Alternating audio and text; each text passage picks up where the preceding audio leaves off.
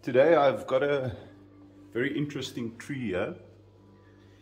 This is a tree that I collected or actually uh, found by chance three years ago. We had some serious rain and floods and I was driving through the indigenous forest on a gravel road and on the side of the road the flash floods washed this guy out of some rocks and it was lying pretty much on the side of the road.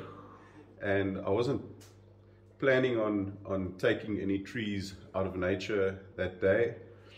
Um, and I just thought if I don't take this tree then it's gonna it's gonna die in anyway. So I took it put it in a bag. It was pretty much at the time it was completely bare rooted and I didn't have much much hope for it. Um, when I found this tree there was no growth. None of these branches were here. These little branches there were no shoots. It was probably double the height so it was quite high uh, about a meter tall. And I cut cut it there um, and then I planted it in this pot. This is a fairly large pot well quite a big pot. And I did that for a reason to just try and get a lot of uh, root growth as much as possible. So I planted it in this big old cement pot and it's been growing in this pot for three years. I planted it in a very nice free draining coarse soil with expanded clay a little bit of river sand some perlite and a nice free draining uh, substrate. And um, you can see over time there's some nice sphagnum moss that's grown that's developed on top of this. Um, I, I, weeded this before I started this video because uh, the weeds were growing about that high so it was embarrassing. So so I haven't done anything to this tree for three years and it's just been standing like that. Um, I should have fertilized it but I never have. Uh, right now I did. I put some of these uh, guano organic slow release uh, fertilizer on it. And so it's a quite an interesting interesting tree um, it it was obviously growing in between two rocks or, or under a rock and then it made, made this like serious bend um, under the pressure of whatever was on top of it and with the rain it washed out. Then it grew out to that point and then it went to the sun. Eventually managed to get some sun and uh, went out that way. So I don't have a clue what I'm going to do with this tree. I don't want to make too much uh, of a long unnecessary video. So I'm just going to wire all these branches or the, the couple of branches that's there. And I was thinking of making a like a sort of a, a raft slash uh, forest uh, style. So with this main branch uh, winding up like this, I might cut it off over there and leave this like the apex or the highest point of the tree and then wire this sort of bend it that it moves with that branch as well as these small ones there's a whole bunch of new little uh, buds or branches coming out there's one two three um, there's four five in the back here so I can let those grow out and eventually wire them all in um, I'm lucky to have this branch over here. I can do something with it. So from this point, there's another little little shoot there. So it's one, two, three. Uh, there's four, five, six, seven, eight, nine, ten, eleven. So in total, there's 11 potential branches I can develop with this this main branch and um, create sort of a, uh, like I said, a, a semi-raft raft style, if you if you will, or a um, or a you know like a a clump style sort of a mix between those styles. So I'm going to get wiring and shape shaping it, and um, I'll take you through what I do. I'm going to take you in for a close up on the tree now so that you can see what it looks like. Okay, so this is a closer view. You can see some nice sphagnum moss. Got disturbed when I was weeding. So for scale, there's my hand. It's quite a nice thick, thick trunk like you can see there. And it, it gives that gnarly bend down. Oh, I remember when I got this tree, there was a dead branch over here. Uh, a dead stick right up to there. So I cut that back. Um, I think I'm going to go in clean that knob there, what's left of it um, with the knob cutters and uh, give it a nice sealer.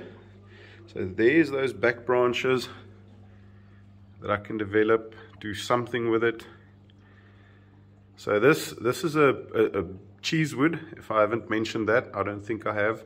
It's an African cheesewood. In Afrikaans we call it a kasuur. Uh, Pittosporum viridiflorum is its botanical name. And this is a really special tree. Um, they're not rare uh, by in they it's it's a very popular landscaping tree and they grow all along the coast from the Western Cape all the way up to Mpumalanga. So it's um, they spread quite far over South Africa, but it's what is rare about them is the the the big trees, the big ones. You don't often see uh, trees 20 meters or 30 meters. 30 meters is pretty much its um, maximum reported height. Um, so this is what makes this tree really interesting. It's uh, in certain areas it's deciduous, and um, in our areas it's it's evergreen. It's not deciduous, so it's a deciduous and a and a evergreen tree in one. Um, and mostly it's a small shrub-like tree, uh, but in the indigenous forest in its natural um, habitat where it gets high rainfall, a lot of water, this guy uh, will will grow up to 30 meters, but it's really rare to see them. And if you see it, it's it's really a majestic looking tree. Um, they have a very big round canopy. They've got um, insane in nature, like insane uh, um, gnarled bends and contorted growth uh, really, really awesome trees. If you, I've only seen one, like in my area, uh, in the indigenous forest, one really big one. That's there on the 30 uh, adult tree. That's around the 30 meter mark high.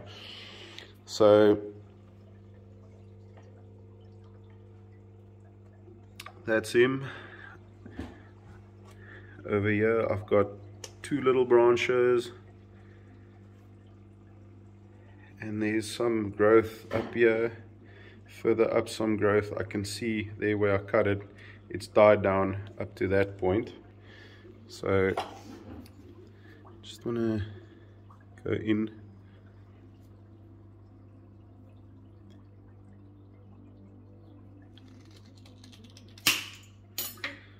I see it is dead up to that point but I think I'm gonna bring it down a little bit more. I'm not gonna prune or cut too much. I'm just gonna try and wire and shape because um, what's nice about them, if I had to prune, prune this branch over there, it will bud out um, above the, the leaf, that leaf there, the leaf stem.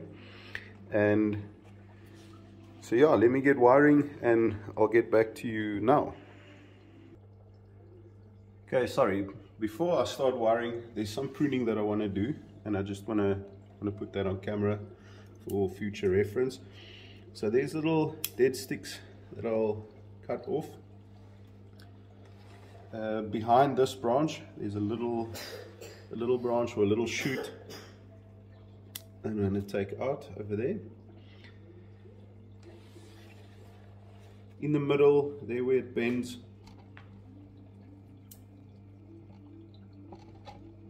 in the middle there where it bends there's short branch at the base. And take that out. Another little one.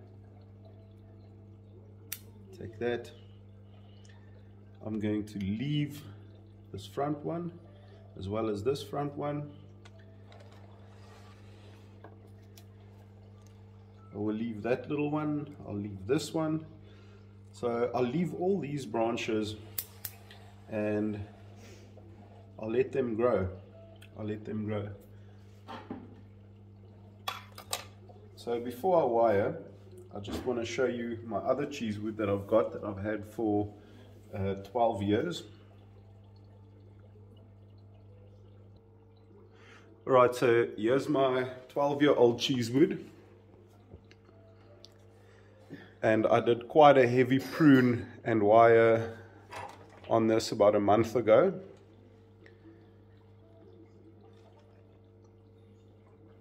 It was full of foliage.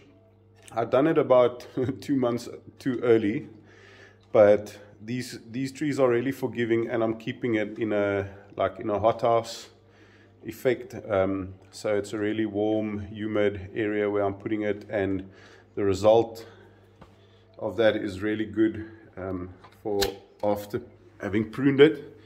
I'll take you in close and you can see, hopefully you can see there's buds starting to push over there, right on the top, over there, over there. Pretty much every every branch is starting to push new growth and they they out of that uh, little bud there there'll be three three to four little branches um, so I can select uh, quite a few. The black spots you're seeing that's a sealer that I that I put on some new wounds and old wounds. Um, it's looking pretty messy with my backyard wiring job here but um, it's gonna do the trick. And so now I use this opportunity to see where the buds come out and I'll do a little bit of more bending so I'll bend branches up left right to manipulate where my future manipulate them for where my future branches should go in in which direction so what I'm aiming for with this tree is if you look at it from the side, it's leaning a little bit too backwards. It's a, really like a 2D sort of tree. So this branch I'm bringing forward, I've angled those shoots to come in, fill the front, as well as this one, fill the, eh, this area, as well as this branch to fill that area. And in the back, I'd like to, with this branch, I'd like to fill in the back section and get overall a nice big round canopy like they would would look in nature so a very impressive well in my opinion at least a very impressive uh, root ball here or nebari um, I've worked at it over the years uh, did some root pruning you can see old uh, pruning scars there as well as over here You can see the live vein running in below this with this dead wood that's been baked by the sun and getting character there. I really like that. That's quite a quite an gnarly looking root ball there. And um, it's developing nicely.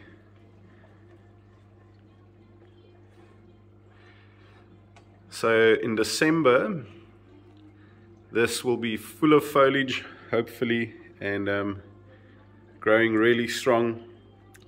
By then I'd re remove all the wire and um, I'll do an update on this tree. Um, doesn't look like much now, but it's going to look really beautiful. I'm, I'm pretty sure of it um, come December. So keep a look out for, for this cheesewood. So I really just did a quick wiring job over here. Uh, this is what I'll call the, the front of the tree. And the first branch I just bent sort of countering this main main trunk of the first bend, countering it a little bit towards us and then upward.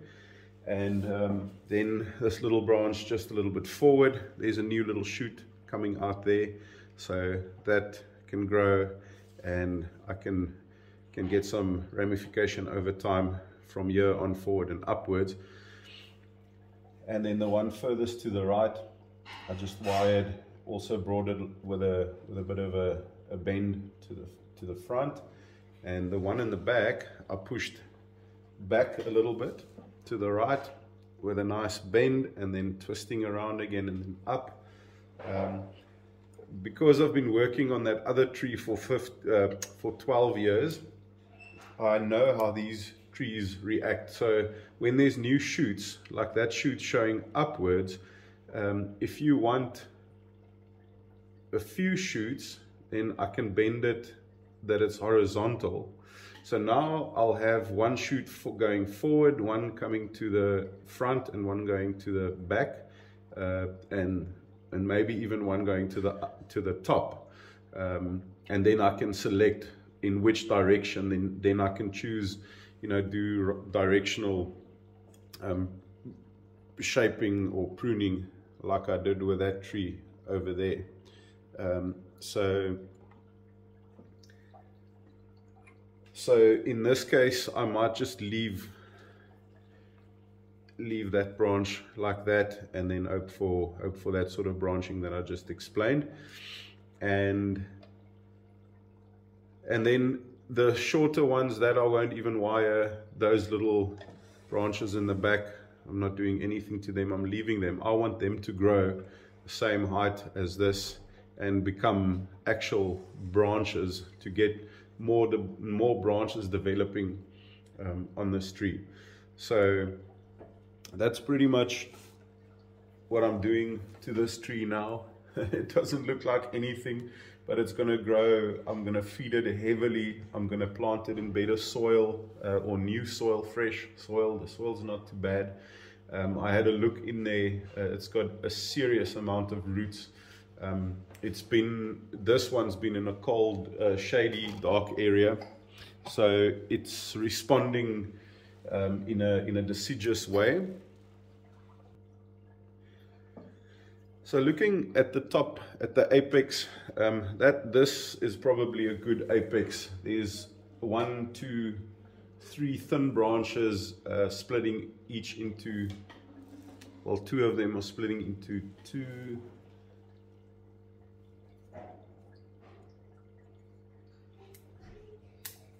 Uh, this branch is dead. Papa, Papa, ek het vir mamma gekrap.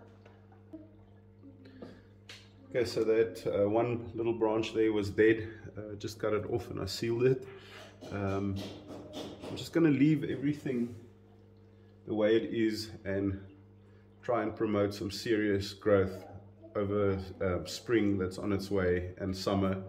And um, just like I said, feed it heavily, put it in sun, give it a lot of water, and um, just try and get as much vigor out of this thing that I that I possibly can. Um, the last I cut that dead stub off the top there. The dieback, the last leaves are all the way up there. And I'm thinking I just wanted not much higher than that um, so I'm not going to bring it all the way down. There's a little branch, there's a little branch. And I think I'm going to take it down just another 50, yeah, or maybe another five centimeters or two inches, about half an inch above that little branch there and then I'll go in with a bit of bitumen tree seal. This stuff seriously good. Not just for bonsai any any tree. It's UV resistant completely seals the wound.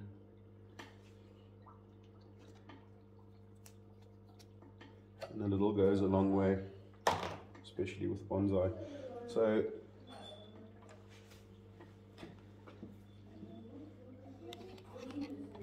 this is pretty much all I'm gonna do to this little little spider spider looking spidery looking tree but I think there's there's potential in this tree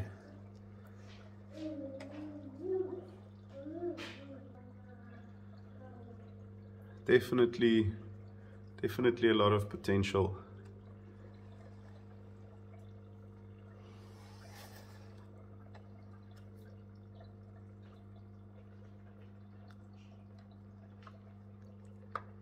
Sorry for the poor camera skills.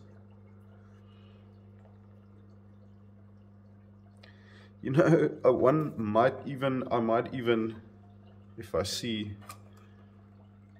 just one day, I might even just cut it off right over there. And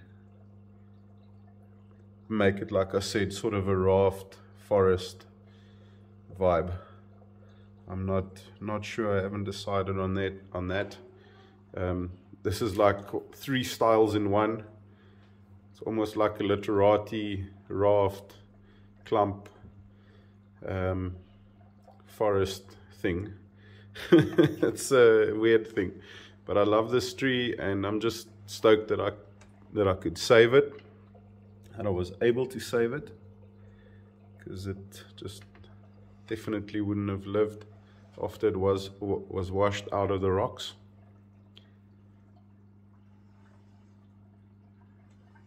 And that's where we're at.